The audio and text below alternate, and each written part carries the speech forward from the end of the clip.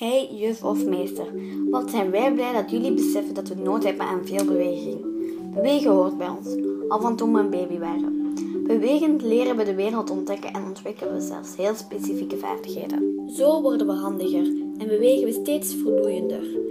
Onze bewegingen worden nauwkeuriger en we kunnen steeds meer dingen alleen. Zelfs als we met verschillende zaken rekening moeten houden. Onze zintuigen vormen een toegangspoort tot de wereld. Door te zien, te horen, te ruiken, te proeven en te voelen kunnen we steeds beter waarnemen. We worden ons steeds bewuster van ons lichaam en krijgen er meer controle over. In evenwicht staan lukt steeds beter en we weten hoe we een goede lichaamshouding kunnen aannemen. Bewegingen combineren lukt ook altijd maar beter. We kennen ons lichaam en kunnen de delen ervan benoemen. Kijk, het lukt ook zijwaarts en zelf achteruit. En rollen kunnen we als de beste. Zijn we nu rechtshandig of linksvoetig? Of was het net andersom? Met plaats, richting en afstand kunnen we steeds beter omgaan. Zo zijn we in staat om onszelf beter en beter te oriënteren in de ruimte.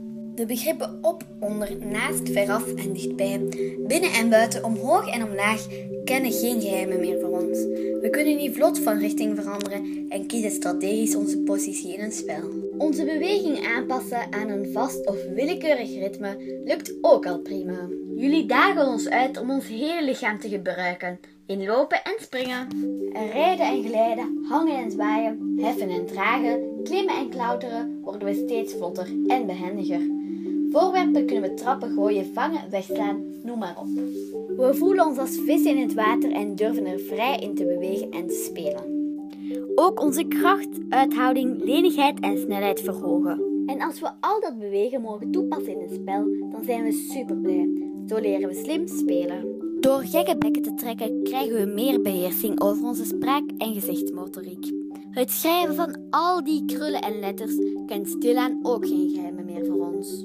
Maar voordat we zover zijn, laten jullie ons best heel veel verschillende voorwerpen en dingen manipuleren. Zo worden we een krak in fijn en gerichte bewegingen. Jullie bieden ons liefst ook veel oefenkansen om die dingen te leren, die praktisch zijn voor het dagelijks leven. En weten jullie ook hoe je een hockeystick of een badmintonraket moet vasthouden? Wij wel.